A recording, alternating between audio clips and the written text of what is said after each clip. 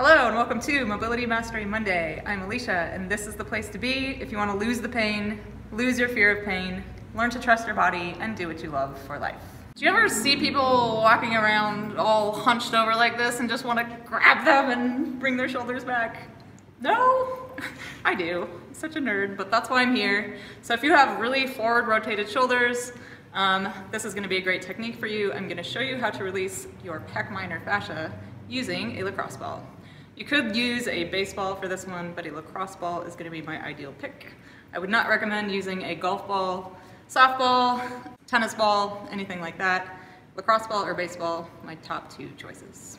So pec minor is a small but very important muscle. It attaches to the third, fourth, and fifth ribs as well as the coracoid process of the scapula, which means that it connects our front to back. So it connects the chest to the back and it can actually impact both, um, let's say, breathing and rib issues in the front, as well as scapular or rotator cuff issues and shoulder joint mobility problems. So small muscle, but very, very, very important.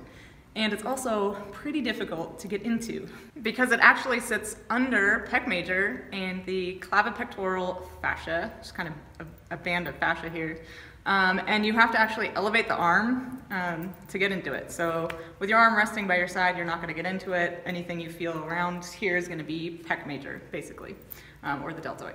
So reasons to do this technique.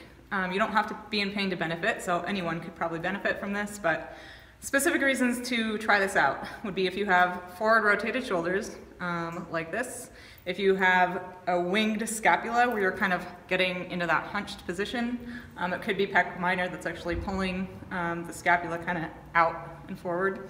Um, if you have shoulder mobility issues, um, specifically uh, partially frozen shoulders, or if you have a range of motion issue with your arm in 90 degrees like this and you have a problem rotating uh, backwards. If you can't even get into this position, um, lying on the floor is actually a better test, but um, if it's a serious mobility issue for you, even this will be difficult.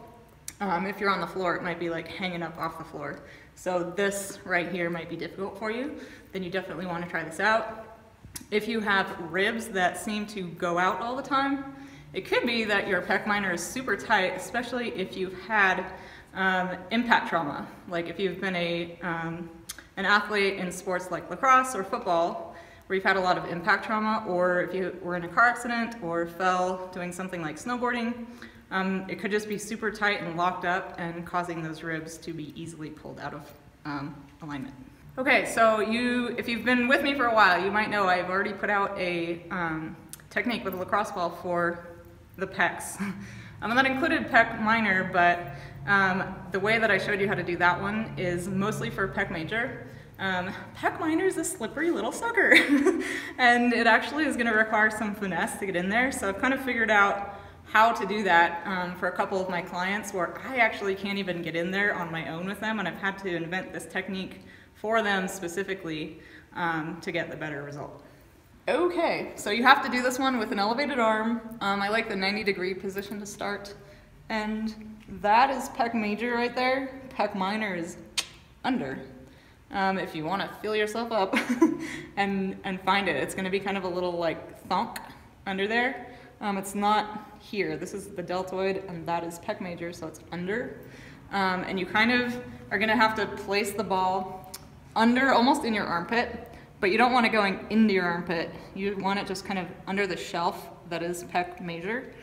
Um, and then you want your weight to sink in and you're looking for, you want to move really, really slow on this one, and you're looking for a clunk.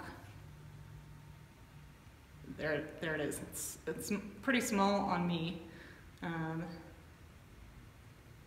I don't know if it's visible to the camera. I keep hunting here. so this one, more than most of my techniques, is going to require some patience to find the right spot. Ooh, there it is. Um, rotating forward will also be a good one. You want to go slow. Plunk.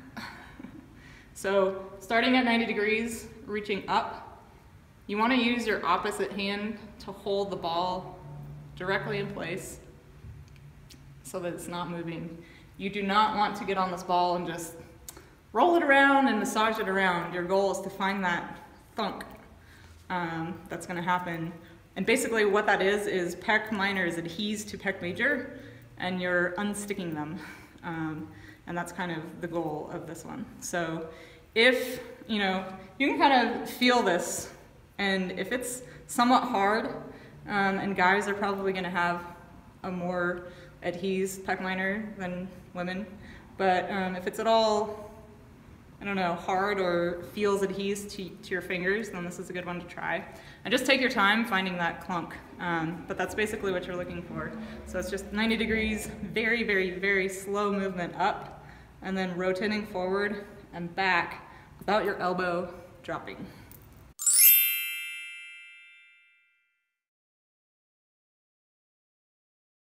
So give this a try and let me know how it goes for you. If you have questions, please comment here on YouTube, Facebook, or mobilitymastery.com.